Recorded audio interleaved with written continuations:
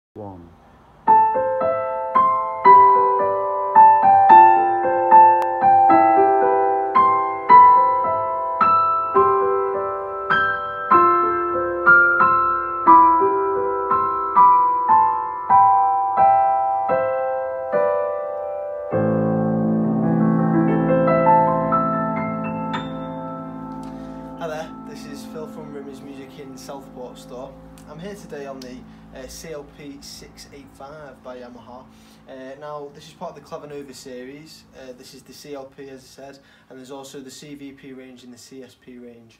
Uh, now this is the flagship model of the CLP range, this is the 685. If you come a bit closer I'll show you the, uh, the interface. So We've got two main samples here. We've got the CFX Grand sample, which is um, Yamaha's flagship uh, premium grand piano just here. Now that's sampled into this piano. And then we've got the Bo uh, Borsendorf Imperial Grand as well, which is sampled into this piano. You've just heard the CFX uh, Grand. Now the Borsendorf is a little bit more mellow, as I'll just show you now.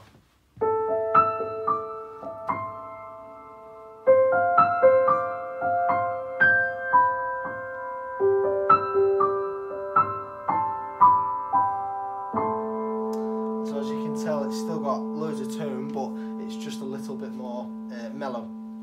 So I'm going to access the voices now. There's plenty of voices to pick from. With this being the uh, flagship model, there's a lot of pianos. There's like a bright grand, which is really nice as well. Then there's um, a studio grand, which is really nice. And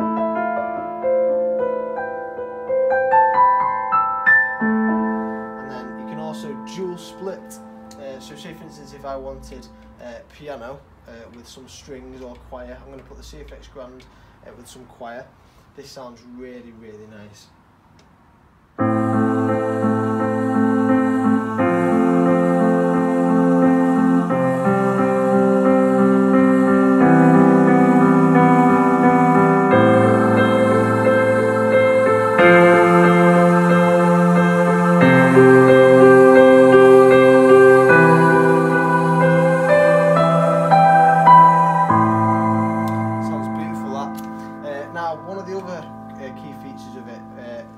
metronome and there's also a few recording features uh, but you've also got a piano room which is fantastic um, which means that you can also change the lid position of your piano uh, and you can do things like change the touch sensitivity now I've got it on hard too which means that um, you do have to press quite hard um, to get a response out but that's more dynamic and you can be very very soft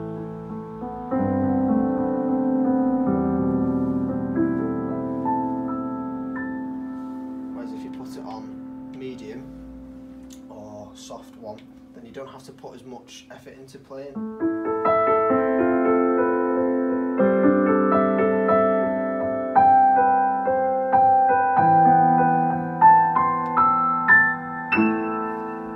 as I I say, keep on hard too.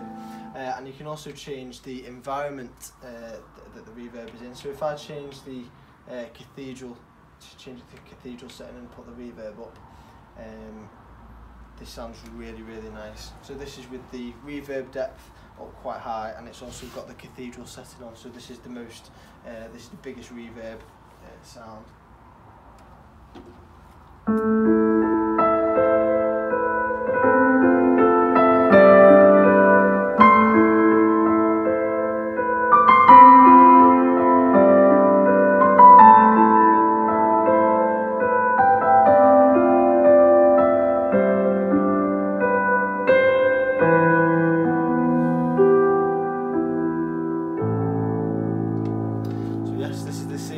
685 uh, in a beautiful polished white as well. There are a few different colours you can have it in polished ebony and black walnut as well, but the polished white is uh, definitely pleasing to the eye, but so are the other colours as well.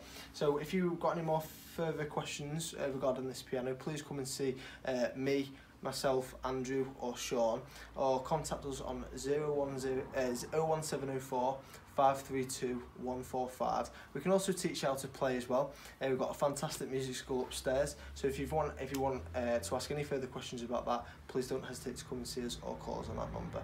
My name is Phil from Women's Music in Southport. Thanks for watching. Take care.